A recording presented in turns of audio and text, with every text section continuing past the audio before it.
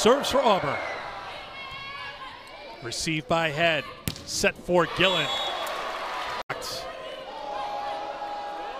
Hogue with the set. They try Gillen again off the hands. Throughout these home matches, it's turning into a home court advantage for the Razorbacks, and rightfully so. Number 14 in the country, highlight reel players. The top 25 for the first time in school history. September 4th, they were ranked 20. Anderson again. Good defense by Arkansas to keep the point going. How about that play? Jill Gillen with her back to Taylor Head. Now, and they're going to need to start blocking more and shut down Jill Gillian. Barrett, block back.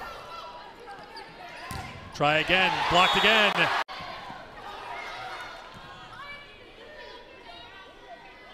Hogue goes to Head.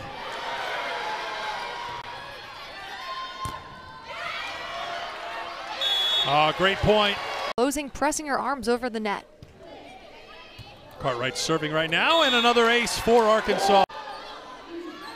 Shear. Dug out by Jackson.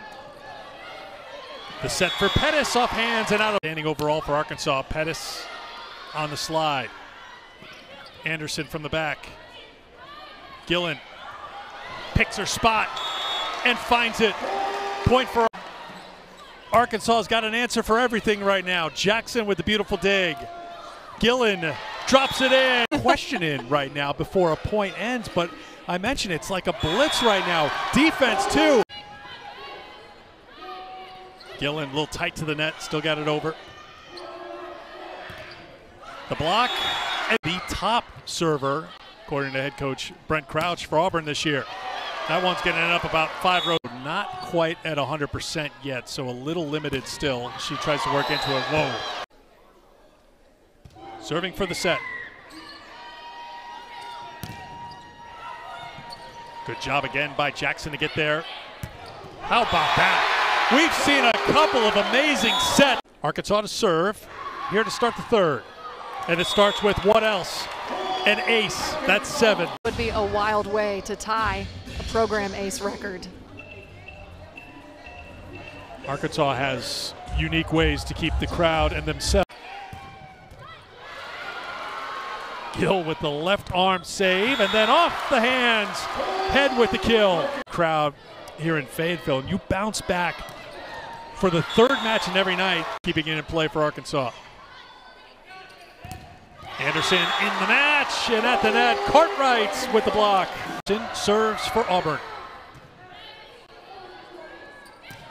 Good job by Head to receive the serve. It ends with a Petties swing and a kill. Slaughter bumps it over. Jackson to Hogue to Head. Such a good set by Hogue, and then Head just run. One third of those points have been on the service errors from Arkansas. And I'm telling you, you're counting on one hand. Auburn's block just not able to close because of how quick that set is to the pin. Another ace. Well, it's all come undone for Auburn by Sarah Morton. Evans for the match.